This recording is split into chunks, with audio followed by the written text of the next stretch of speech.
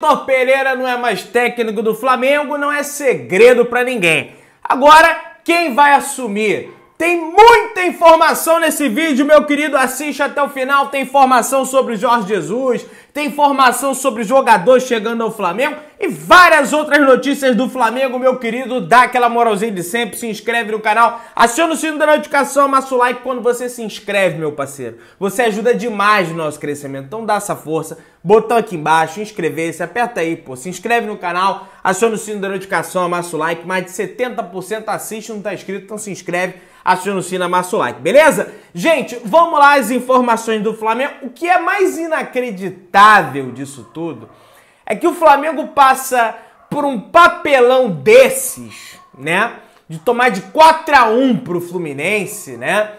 E hoje, em vez dos caras irem correr, se preparar melhor fisicamente, sei lá, os caras receberam folga.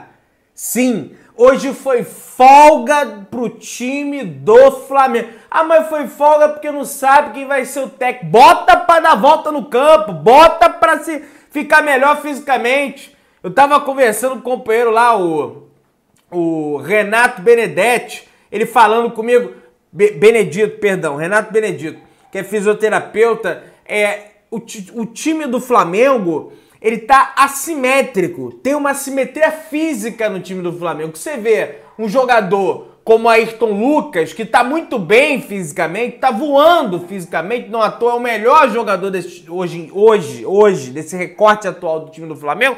E tem jogadores como o Gabigol, que perdeu numa corrida pro Keno, que tem 33 anos. Ah, Pedro, mas olha só. O Ken é jogador de velocidade, o Gabigol não é jogador de velocidade, mas meu amigo, o Gabigol estava muito na frente. Muito na frente. Tá longe daquela forma física dele lá, lá de 2019, lá de 2021, que ele metia gol todo jogo, né? Então isso precisa ser corrigido realmente no time do Flamengo, tá? Gente, é o seguinte, vamos lá. O Vitor Pereira não é mais técnico do Flamengo, isso aí não é segredo para ninguém. Só estamos aguardando aí agora a posição oficial do Flamengo, né? Soltar aquela notinha, coisa e tal. Ó, o Vitor Pereira não é mais técnico do Flamengo. Mas isso não é segredo para ninguém, não é mais técnico do Flamengo, não comanda mais o Flamengo. Amanhã o Flamengo se reapresenta depois dessa folga aí, que não era para existir essa folga.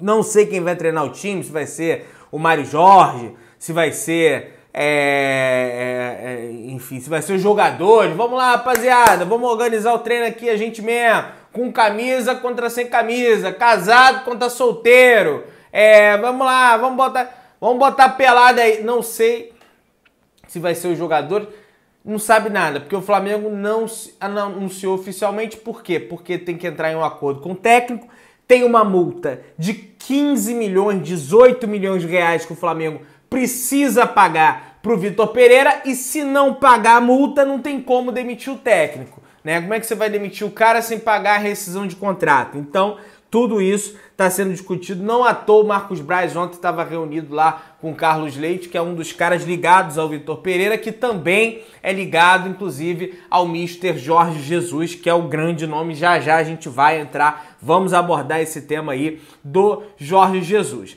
tá? É, o Landim, por incrível que pareça, quando o bicho tá pegando, quando o Flamengo tá no olho do furacão, o Landim não tá no Rio de Janeiro.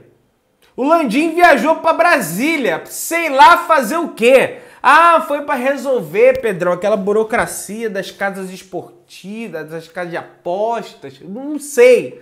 Mas ele tinha que estar tá aqui no Rio de Janeiro, não tinha que ir nada para Brasília. Mas tá lá, foi lá é, é, é, é, tá lá na, na, em Brasília, enfim, não sei o que ele foi fazer lá, tá?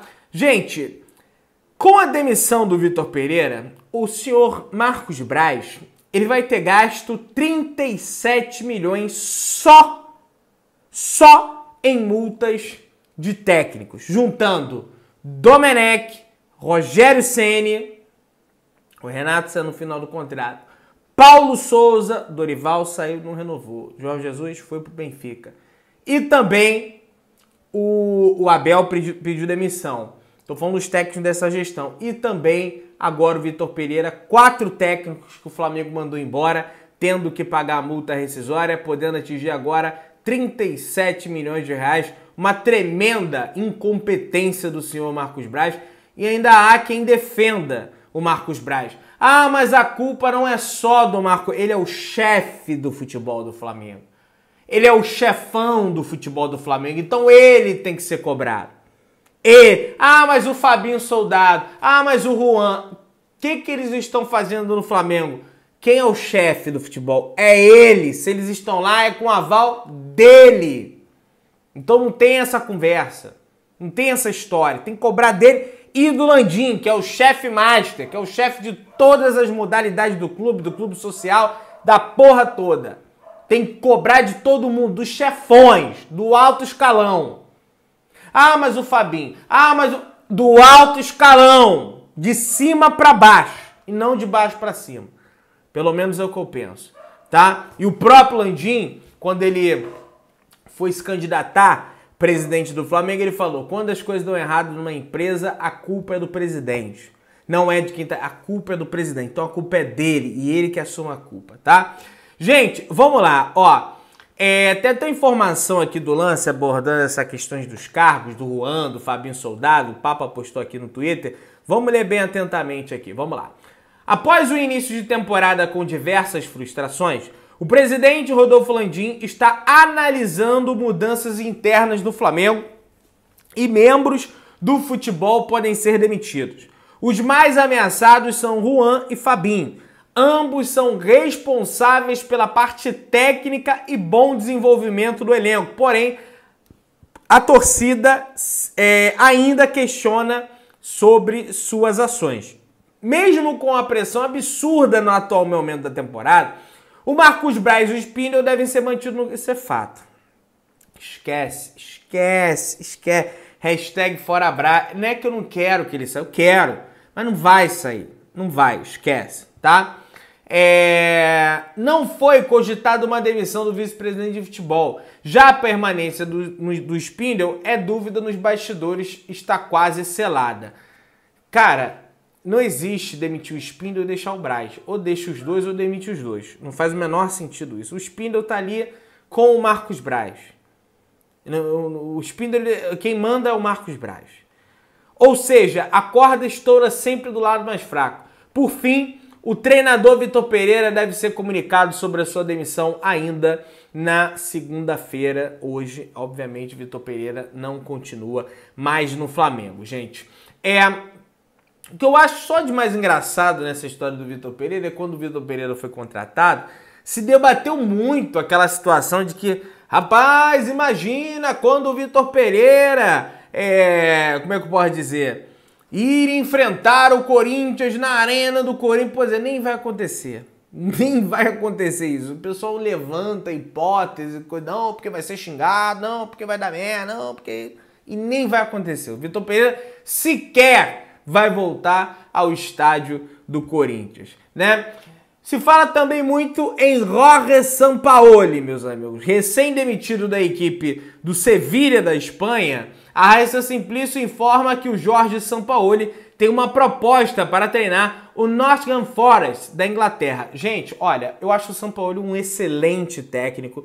Os embates do Sampaoli com o Mister aqui no Brasil foram embates realmente interessantes, né? Você tem aquele Flamengo e Santos no Maracanã que o Flamengo custou, penou para ganhar do Santos, né? Que tinha uma equipe inferior e o Gabigol tira um coelho da cartola maravilhoso com aquela cavadinha por cima do Everson, que hoje é goleiro do Atlético, na época era goleiro do Santos, né?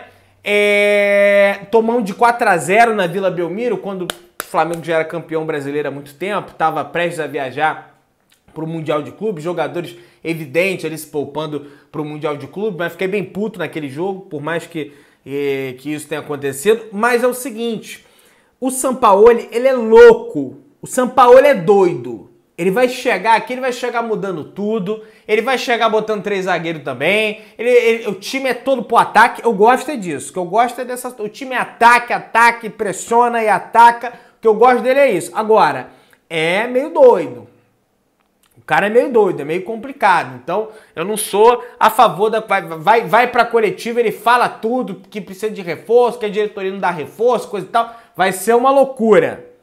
E tá livre no mercado. Eu não sou a favor dele. O número um para mim é o Mister Jorge Jesus. E aí, o PVC, o Paulo Vinícius Coelho, trabalha, trabalhou no Sport TV, aliás, não trabalha mais lá, informa que o Sampaoli já se encontra na casa dele localizada em Búzios. Para quem não sabe, o Sampaoli é casada com uma mulher brasileira, se eu não me engano, né? E o treinador não esconde o seu desejo de ser treinador do Flamengo, mas até o momento não recebeu nenhum contato, tá? Mas tá, tá aqui no Rio, São Paulo. Tá lá em Búzios, coisa e tal, indo na praia, tomando aquela caipirinha, né? Tem a Rua das Pedras ali em Búzios. Pois é, o homem tá lá. Ele tá lá em Búzios. É, e aí, tá rolando agora o jogo, tava até assistindo ali, entre Fenerbahçe e a equipe do Fatih Karagunhuk, eu acho que é assim que fala, tá? Perdão ao time se eu estiver falando o nome errado, porque realmente é um time com um nome difícil. E o Fenerbahçe estava perdendo para esse time. Para quem não sabe, o Fenerbahçe está a nove pontos atrás da equipe do Galatasaray, que é o líder do campeonato. E perdendo, poderia ficar a 12 se o Galatasaray vencesse o seu jogo por mais que o Fenerbahçe tenha um jogo a menos aí, ia ficar bem complicada a situação para vencer o título turco. No entanto, nesse momento, tá até aberto ali, tá um a um. O Fenerbahçe empatou o jogo, começou o segundo tempo agora, o Fenerbahçe empatou o jogo, mas mesmo com o empate, é um resultado ruim para o Fenerbahçe. Não é um resultado bom para o Fenerbahçe, porque vai se distanciando ainda mais. Já está na 28ª rodada, vai se distanciando mais e, ao que tudo indica, o Jorge Jesus não deve continuar técnico do Fenerbahçe. Pelo que eu sei, pelo que eu vi vazando, a multa dele é baixa, dá para o Flamengo perfeitamente ir lá e pagar. Agora é tentar. É tentar. O Flamengo tem que tentar a contratação do Jorge Jesus. A gente precisa se safar de vez desse fantasma do Jorge Jesus e só vai se safar quando ele voltar a treinar o Flamengo. Ah, mas se der errado, mas pelo menos se safou disso. E eu tenho certeza que a probabilidade de dar certo é altíssima, porque ele tem a cara do Flamengo, ele tem o estilo de jogo do Flamengo, é, é, é um técnico que, que, que pede para que as suas equipes pressionam a equipe adversária, tem uma marcação pós-perda bem ajeitada nas equipes dele. A gente sabe, ele fez muito mais, aliás, com um elenco que era enxuto do Flamengo. Aquele time do Flamengo, os reservas eram o Rodinei, que depois veio fazer uma boa temporada ano passado. Os reservas eram o Rodolfo na zaga, era o Tuller, era o Lucas Silva, era o Lincoln, o reserva. Hoje o Flamengo tem um elenco muito mais farto. Então, para mim, na minha opinião, a probabilidade dele dar certo é muito maior do que dar errado. De repente joga até melhor o Flamengo, não sei. Ele mesmo, parece que já. Tô olhando o jogo ali. É. Confessou a pessoas próximas que ele não tem medo de voltar ao Flamengo, que ele volta. Ah, mas aí você vai, pode manchar a sua história. Ele voltaria ao Flamengo, poderia fazer até melhor do que ele fez. O velho é corajoso, bicho.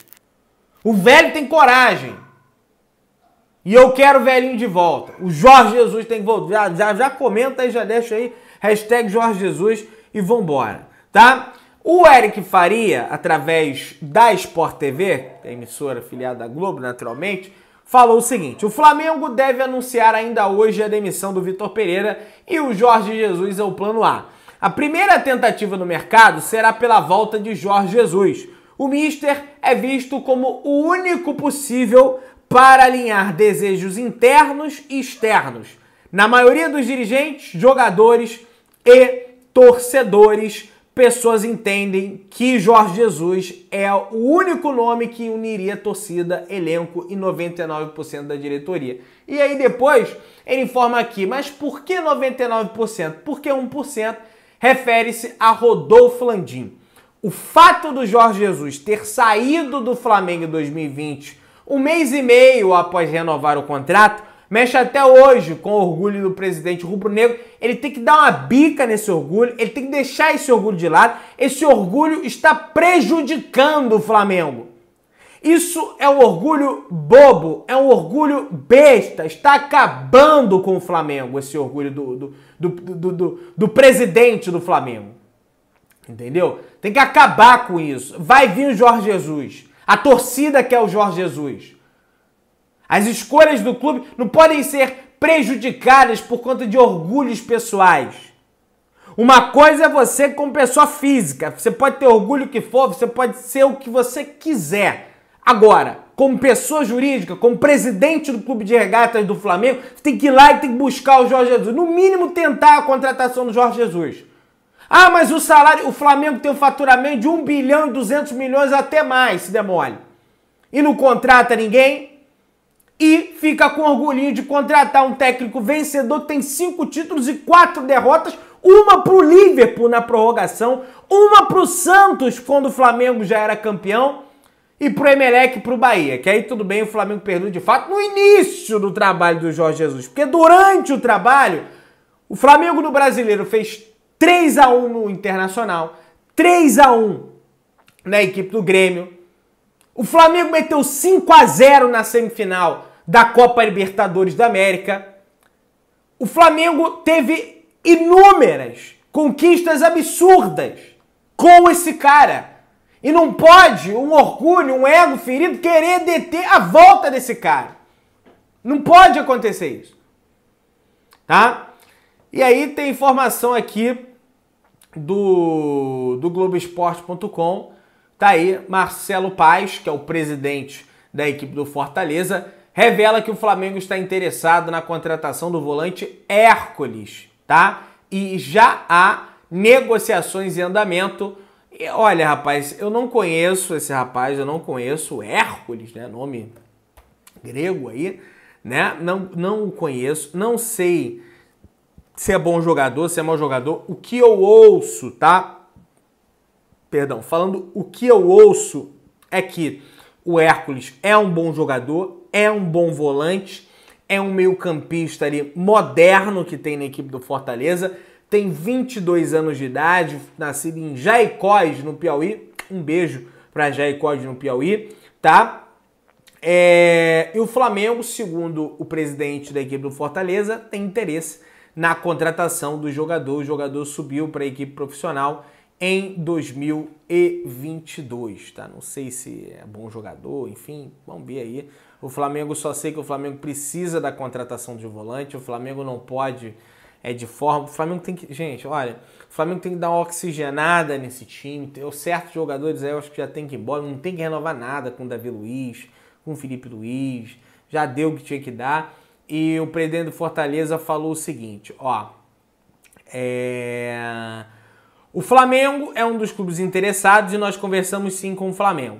Há uma possibilidade desde que venha uma proposta oficial com os valores pedidos, falou o presidente do Fortaleza. Se eu não me engano, o Hércules fez gol no Flamengo, tá? Quando ainda com o Paulo Souza, o Fortaleza venceu o Flamengo no Maracanã, tá? Se eu não me engano.